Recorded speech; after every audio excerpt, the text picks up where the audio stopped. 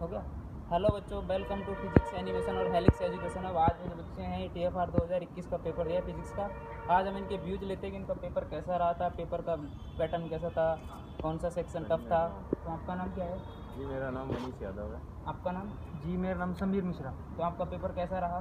जी paper मेरा काफ़ी सही रहा। जिस हिसाब से मैंने तैयारी की उस हिसाब से ही पेपर मेरे को लगा। ऐसा कुछ लगा नहीं कि पेपर मतलब जिस जो मैंने तैयारी की थी उससे पेपर बाहर गया था। पेपर जो तैयारी की थी उसमें ही था। एग्ज़ाम में कितने सेक्शन थे? दो सेक्शन थे और बी वाला शायद मेरे को लगता है कि मेरे हिसाब से थोड़ा टफ था। ये मेरे जो विचार हैं वो ये हैं कि सेक्शन बी थोड़ा सही नहीं लगा मेरे को सेक्शन ए के बारे में आपका क्या सेक्शन ए इतना कुछ ज़्यादा टफ नहीं था जितना जो मैंने प्रिपरेशन की थी उसके भीतर भीतर था। सेक्शन ए इतना टफ नहीं था कंपेयर टू बी बी थोड़ा सा टफ लगा मेरे को। एन टाइप के क्वेश्चन आपको कैसे लगे? उनके बारे में क्या अरे उनके बारे में तो पूछे ही मत। एन ने टाइम वेस्ट कर दिया इतना ज़्यादा दिमाग घुमा दिया कि समझ ही नहीं आया कि क्या है क्या नहीं है। तो मतलब हाँ अच्छे क्वेश्चन थे एन के भी कि टफ काफ़ी सारे थे। तो बताओ कि जो आपका ये पी एफ़ आर का पेपर है जैम से कितना टफ था? कितने अच्छे क्वेश्चन थे इसमें जैम से तो देखो मैं कहूँगा कि टफ था जैम से तो। कितना टफ था जैन से?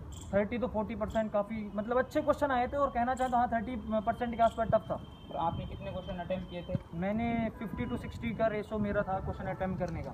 आप क्या एक्सपेक्ट करते हो कि आपके कितने क्वेश्चन सही होंगे कितने क्वेश्चन गलत होंगे? सिक्सटी मैंने अटैम्प्ट किए तो मेरे को ऐसा लग रहा है कि मेरे फोर्टी सेवन के आसपास सही होने चाहिए। जितना मेरे को लग रहा है फोर्टी सेवन फोर्टी मार्क्स हाँ। एक्सपेक्ट करते हो। एक्सेप्ट करता हूँ बिल्कुल। चलो ठीक है। और इसके बाद आपको क्या लगता है कि इसका सिलेबस है? वो जैम से कितना टफ है? कितना नहीं है? जैम से देखो तो जैम से तो बिल्कुल टफ है ही है। इसमें तो कोई दौरा नहीं है कि जैम से टफ नहीं है। वो तो आपकी तैयारी के ऊपर करता है कि आपने कितनी तैयारी कर रखी है। फिर आप एग्ज़ाम में कैसा परफॉर्म कर रहे हैं वो तो आपके ऊपर डिपेंड करता है। तो अब you are preparing for JEST your sir yes तो जेस्ट के लिए आप तैयारी कर रहे हो मतलब टी एफ़ आर हो गया जैम हो गया तो आप जेस्ट की तैयारी करोगे। बिल्कुल बिल्कुल। चलो थैंक यू सो मच आपने देखा कि मैंने इनका इंटरव्यू लिया था इनसे पूछा था कि इनका टी एफ़ आर दो हज़ार इक्कीस का पेपर कैसा रहा था कैसा नहीं रहा था। इन्होंने तो जो अपने व्यूज़ दे दिए इसके बाद हर एक स्टूडेंट के अपने अपने व्यूज़ होते हैं।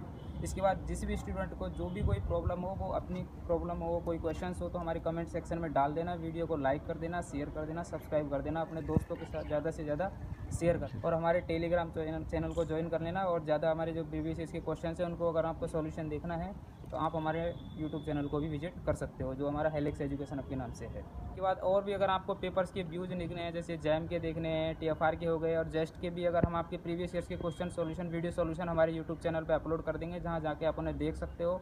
इसके बाद आप हमारे टेलीग्राम चैनल को भी ज्वाइन कर सकते हो। Thanks for watching